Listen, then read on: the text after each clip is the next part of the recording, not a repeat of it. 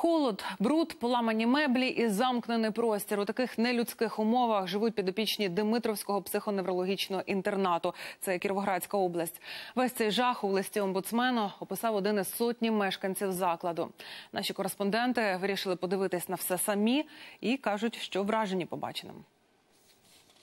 Холодні спальні, брудна білизна, обмаль меблів та зачинені в палатах підопічні.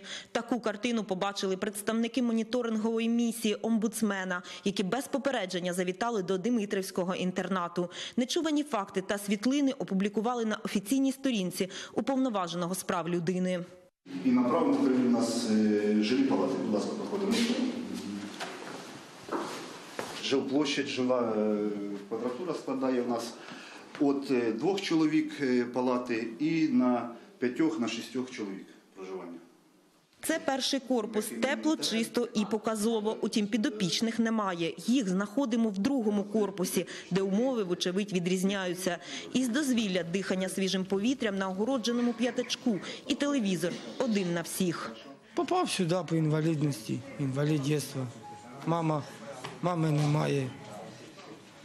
Живу тут. Ну, ходю, гуляю. Телевізор воно сидю, дивлюсь.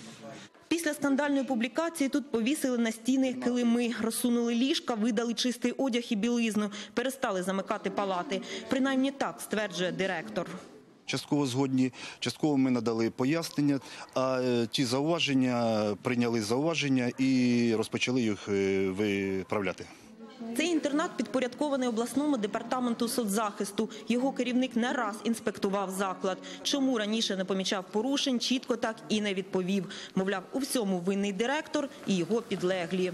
не допрацьовує колектив працівників інтернатного закладу. Е, Про це була розмова із директором будинку інтернату, тому що після того, як я дивився на ті фотографії, де підопічні в неохайному вигляді, да, в такому, і в той, ч- той же час, коли на складі в інтернатному закладі лежать нові носки, нові курточки, да, то мені не зрозуміло, чому підопічні їх не отримали до цього часу.